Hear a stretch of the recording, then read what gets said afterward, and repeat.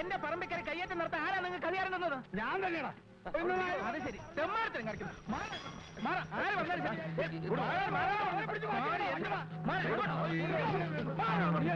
എന്റെ നെഞ്ചത്തി ചവിട്ടിട്ട് നിങ്ങൾക്ക് ഇനി ഇവിടെ അടക്കാൻ പറ്റൂ.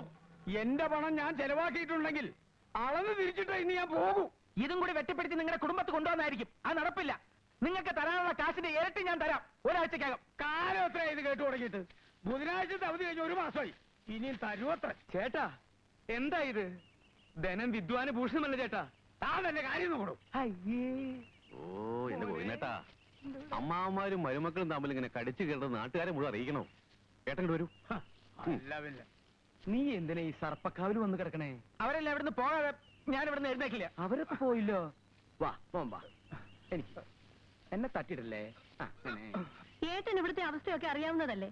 എന്നിട്ടും എന്താ ഇങ്ങനെ? അവസ്ഥയൊന്നും എനിക്കറിയേണ്ട കാര്യമില്ല. ഞാൻ കഷ്ടപ്പെട്ടുണ്ടാക്കിയ പണമാ. അതെനിക്ക് കിട്ടണം.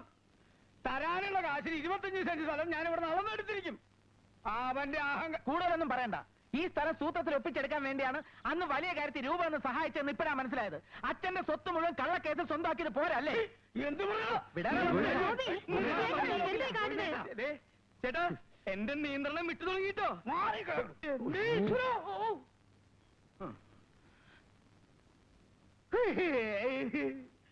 കാര്യം പറയുമ്പോ മുന്തി വിട്. ഇത് എവിടുത്തെ മര്യാദ ഞാൻ പോവാ. തന്നെ കഴിഞ്ഞ് ശരിയാക്കിയാലോ പോന്നോ പോട്ടെ. രണ്ടിലൊന്നും എനിക്ക് ഇപ്പൊ അറിയണം. അമ്മാവൻ ഇത്തവണ കൂടി ക്ഷമിക്ക്. ബാങ്ക് ലോൺ ശരിയായാലും ഉടൻ കാശ് തിരിച്ചു തന്നേക്കാം. ഇനി വരുന്നത് ഞാൻ പോലീസിനെ കുട്ടിയായിരിക്കും. ആ.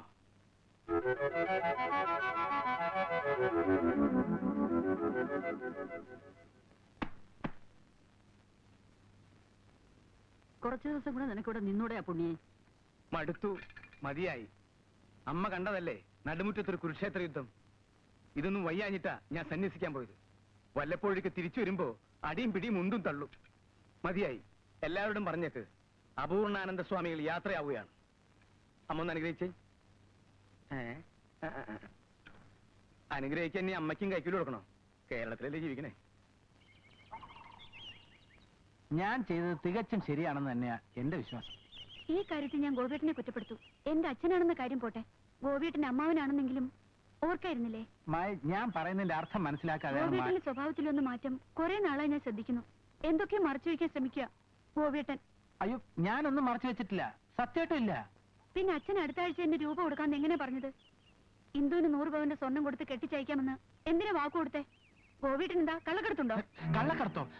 തമാശയ്ക്ക് ഒരു അങ്ങനെയൊന്നും പറയരുത്. വെറുതെ ആൾക്കാർ തെറ്റിദ്ധരിക്കും. സ്വർണരഥം ദേഹം മുഴുവൻ സ്വർണം കൊണ്ടുള്ള ബഹളം എന്തൊക്കെയാ പറഞ്ഞത്? അന്ന് എനിക്ക് സംശയമുണ്ടായിരുന്നു. അതൊക്കെ എന്റെ ഒരു സ്വപ്നം പറഞ്ഞാണ് മായെ. ഇടത്തരക്കാരന്റെ ജീവിതം മുഴുവൻ സ്വപ്നങ്ങളല്ലേ? അതൊക്കെ യാഥാർത്ഥ്യമാക്കാനുള്ള ശ്രമത്തില നിന്റെ ഗോപിയേട്ടൻ.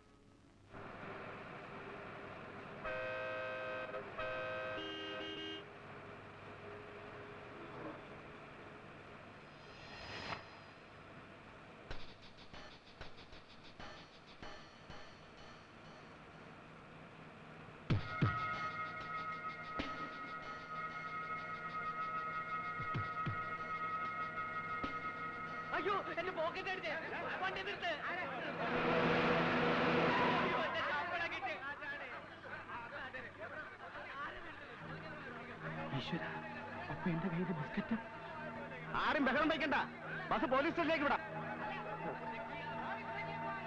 പോലീസ് സ്റ്റേഷനിൽ പോയി ചെക്ക് ചെയ്യാന്നൊക്കെ പറഞ്ഞ എനിക്കിന്നൊരു ഒരു പി എസ് സി ടെസ്റ്റ് ഉള്ളതാ. സമയമായി. പോലീസിന്റെ ടെസ്റ്റ് കഴിഞ്ഞിട്ട് വേറെ ടെസ്റ്റ് ചെയ്താൽ മതി. ആരെങ്കിലും എന്തെങ്കിലും പോക്കറ്ററിങ് കാണിച്ചതിന് നമ്മൾ എല്ലാവരും കൂടി ശിക്ഷ അനുഭവിക്കണമെന്ന് പറഞ്ഞ സ്ത്രീകളും കുട്ടികളും ഉള്ളതാ. നമുക്ക് എന്നെ തപ്പാം. വാ. വാ. വാ.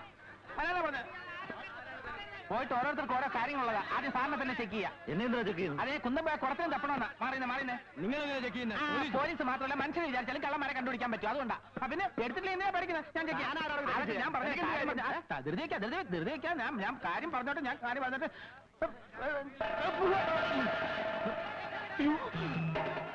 ഞാൻ കള്ളനല്ല ഞാൻ കള്ളനല്ല ഞാൻ പോക്കറ്റ് അടിക്കാരനല്ല. സത്യമായിട്ട് എനിക്ക് ടെസ്റ്റ് ഉള്ളതാ ടെസ്റ്റ് ഉള്ളതാ. എന്നെ കൊണ്ട് പിരിഞ്ഞു പോണേ പ്ലീസ് ഞാൻ പറയുന്നത് മനസ്സിലാക്കേ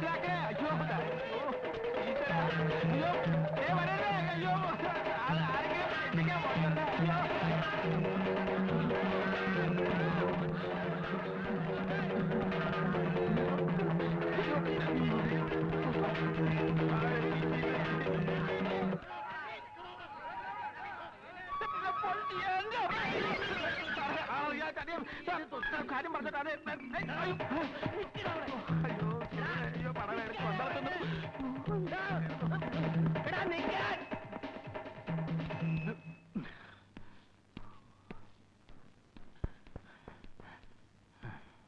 ഏ? അത്രയ്ക്ക് ദാഹമുള്ളണ്ട ഒരു ചായ രണ്ട് ഗ്ലാസ് വെള്ളം. എനിക്ക് കിട്ടുമ്പോ തിരിച്ചു തരാമേ. കള്ളം മൈഞ്ച മോനെ എത്ര നാളാണോ നിന്നെ തെരഞ്ഞെടുക്കുന്നത് കാശി ഞാൻ പിന്നെ തരാം എപ്പോ പിന്നെ? എന്റെ അഭിമാനത്തിന് ഇപ്പോ തരണം. ഞാൻ പിന്നെ തരാം ഞാൻ പിന്നെ സ്ഥലം വരെ പോകാൻ. ഏയ്, കാര്യം പറഞ്ഞോ. അതിനല്ല, ഞാൻ ചെട്ടി പിന്നെ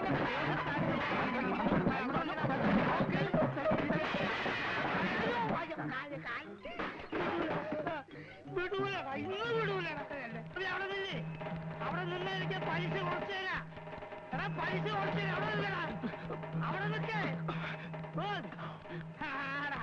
ഈ ദിശയിൽ നീ എങ്ങോട്ട് പോകാനാടാ നീ ഹെലികോപ്റ്ററിൽ പറക്കാൻ. ഏ? ആടാ നിന്നെ വിടൂലടാ. ഗോപിയേ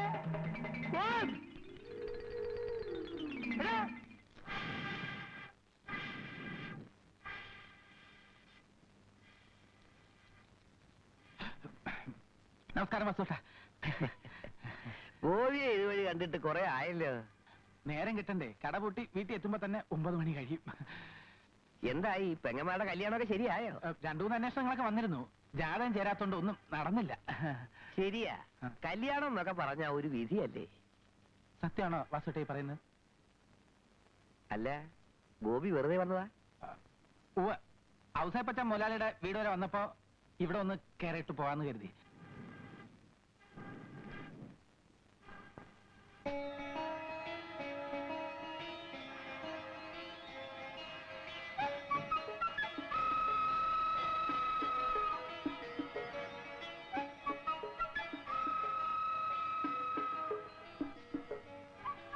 തീയിലിട്ട സ്വർണം കാണാൻ നല്ല ഭംഗിയല്ലേ? സാധാരണയായി വാസുവേട്ടൻ ഇവിടുന്ന് സ്വർണം ഒരുക്കി കൊടുക്കാറുണ്ടോ? എന്താ ഉരുക്കാൻ സ്വർണം ഉണ്ടോ കയ്യിൽ? അല്ല നമ്മൾ ഈ പത്രത്തിലൊക്കെ വായിക്കാറില്ലേ? രണ്ടു കോടിയുടെ സ്വർണം പിടിച്ചു മൂന്ന് കോടിയുടെ സ്വർണം പിടിച്ചു എന്നൊക്കെ. ഇതൊക്കെ എങ്ങനെയാ വിറ്റ് കാശാക്കുന്നതെന്ന് ഒരെത്തും പിടിയും കിട്ടുന്നില്ല. ആവശ്യമില്ലാത്ത കാര്യം ഓർത്ത് എന്തിനാ കോഴി തല ഉണ്ടാക്കുന്നേ ഞാനും അത് തന്നെ ആലോചിക്കുന്നത്. ആവശ്യമില്ലാത്ത ഓരോ കാര്യങ്ങൾ ഓർത്ത് നമ്മളെന്തിനാ തല പുണ്ണാക്കാക്കുന്നത്?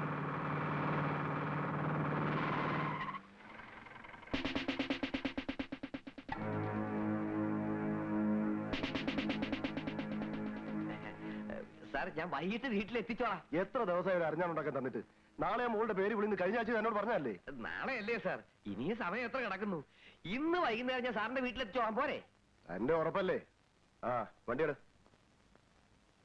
ആ പിന്നെ കള്ളക്കടത്തുകാർ എറിഞ്ഞു കളഞ്ഞ സ്വർണം ഈ ടൗണിൽ തന്നെ ആരുടെ കയ്യിൽ എത്തിയിട്ടുണ്ടെന്ന റിപ്പോർട്ട്. സ്വർണം വിൽക്കാൻ വരുന്ന ആരെങ്കിലും സംശയം തോന്നുകയാണെങ്കിൽ സ്റ്റേഷനിൽ വിളിച്ചു പറയണം. ഓ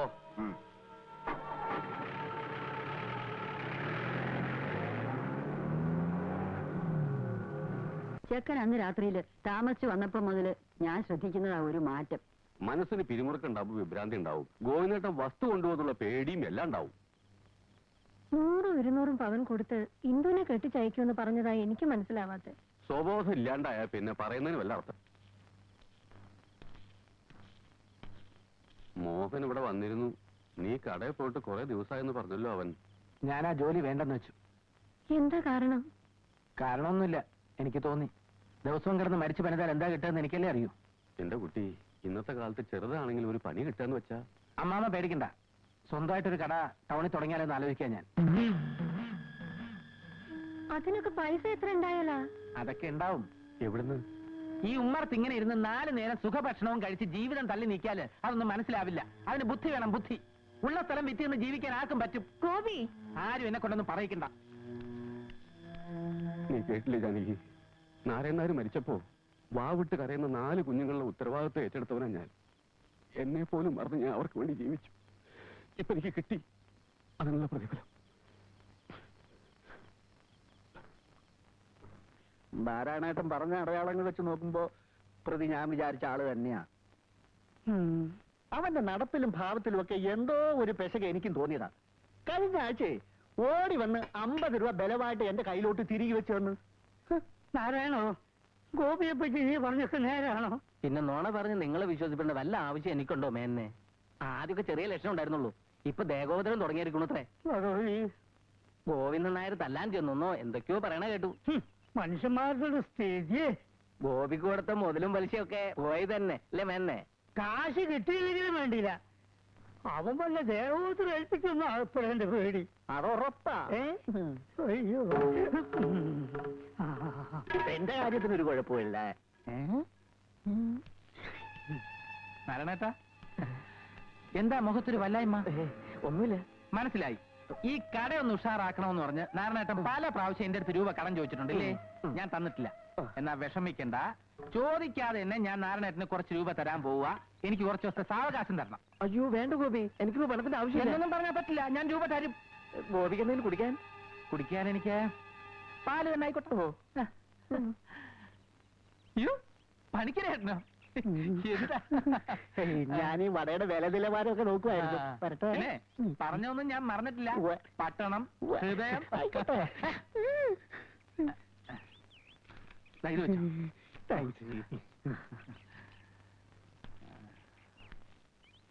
വേഗം വേണം.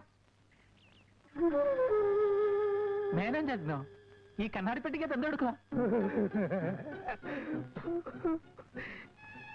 ഞാൻ ചേട്ടനെ കാണാൻ കാത്തിരിക്കായിരുന്നു നമ്മുടെ പൈസയുടെ കാര്യമില്ലേ പൈസ വേണ്ട.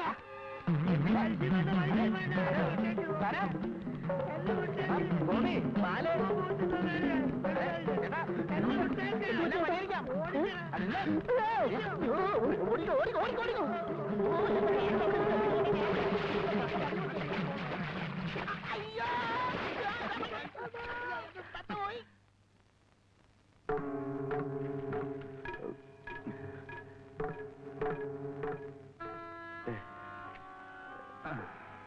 ഗോപി രണ്ടാഴ്ചത്തെ ലീവെന്ന് പറഞ്ഞ് പോയിട്ട് പിന്നെ കണ്ടേയില്ല. കുറച്ച് തിരക്കിലായി പോയി അവസരപ്പച്ച പിന്നെ ഈ ജോലി അങ്ങ് വിടാനുള്ള തീരുമാനത്തിലാ ഞാൻ. വേറെ വല്ലതും മനസ്സിൽ കണ്ടിട്ടുണ്ടോ ആവും? വേറെ വല്ലതും കണ്ടുവെക്കാ ജോലി വിടാൻ എനിക്ക് എന്താ പ്രാന്തുണ്ടോ ഏയ് ഞാൻ വെറുതെ ചോദിച്ചതാ.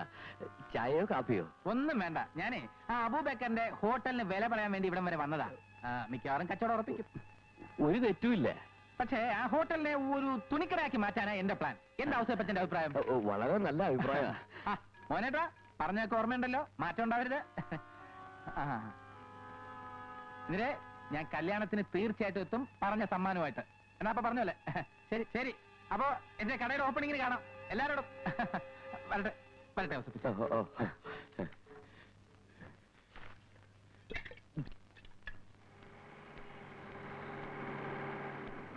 ഗോപി ഗോപി. അവിടെ നിന്നേ. ഗോപി എന്ന് കാണാൻ ഞാൻ എത്ര തവണ കടയിൽ ചെന്നറിയോ എനിക്ക് അല്പം തിരക്കുണ്ട്. നമുക്ക് സൗകര്യം പോലെ പിന്നെ കാണാം. അവിടെ നിൽക്ക്. ഗോപി! ഹെഡ് ഓഫീസിൽ നിന്ന് വെരിഫിക്കേഷൻ കഴിഞ്ഞാൽ പേപ്പേഴ്സ് എല്ലാം എത്തിയിട്ടുണ്ട്. ഗോപി ഒന്നാ പൈസ വാങ്ങിയാ മതി. ലോണിന്റെ കാര്യം സാറി പറയണേ? അതെ. അത് ശരിയായി വന്നപ്പോ ഞാൻ എന്തുമാത്രം സന്തോഷിച്ചെന്നറിയാമോ? പിന്നെ എനിക്ക് ചെറിയ ഹെൽപ്പ് വേണം. ഞാൻ കെ എഫ് സിന്ന് ചിട്ടി പിടിച്ചതിന്റെ ജപ്തി നോട്ടീസ് വന്നു. ഒരു അഡ്ജസ്റ്റ്മെന്റ് കുറച്ച് എമൗണ്ട് കടമായിട്ട് തന്നാ മതി. ഞാൻ തിരിച്ചു തന്നോളാം. കൊല്ലംകോട്ടെ രാജപ്പന് മീൻ വളർത്തുന്ന രണ്ട് ലക്ഷം രൂപ ശരിയാവുന്നുണ്ട്.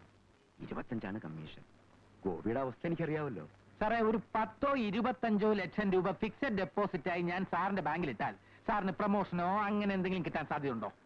ഗോപി കളിയാക്ക? കളിയാക്ക്? ഒരാഴ്ചക്കുള്ളിൽ ഞാൻ സാറിനെ വന്ന് കാണുന്നുണ്ട്. ഇരുപത്തഞ്ചാണോ അമ്പതാണോ ഇടേണ്ടതെന്ന് അപ്പൊ തീരുമാനിക്കാം. ഇപ്പൊ ഇത്തിരി ധൃതിയുണ്ട്. ഏ? ആ പിന്നെ ആ ലോൺ അങ്ങ് ക്യാൻസൽ ആക്കിയത്. അല്ലെങ്കിൽ ഏതെങ്കിലും പാവങ്ങൾ കൊടുത്തേക്ക്. പോട്ടെ. അപ്പൊ ഔസേപ്പച്ചൻ പറഞ്ഞത് നേരാ. ഇത് വട്ട് തന്നെ. മുഴുവട്ട്. ഹും.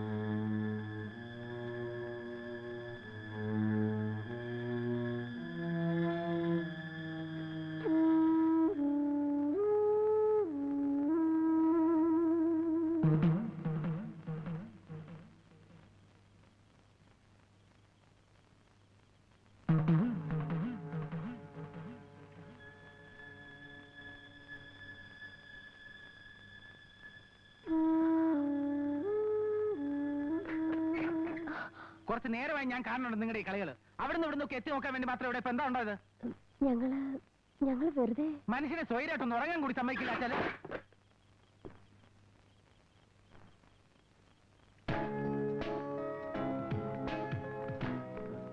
ഷോപ്പിൽ നല്ല തിരക്കുണ്ടോ?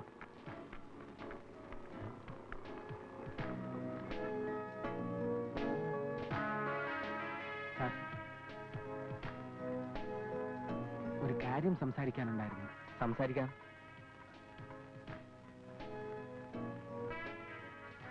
ബിസ്ക്കറ്റിന്റെ കാര്യത്തെ കുറിച്ച് ചോദിക്കാനാ.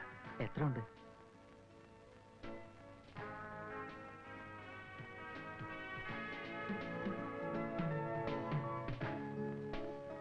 എത്ര ഉണ്ട് കയ്യിൽ തന്നെ ഉണ്ടല്ലോ അല്ലേ? അല്പം വെയിറ്റ് ചെയ്യും.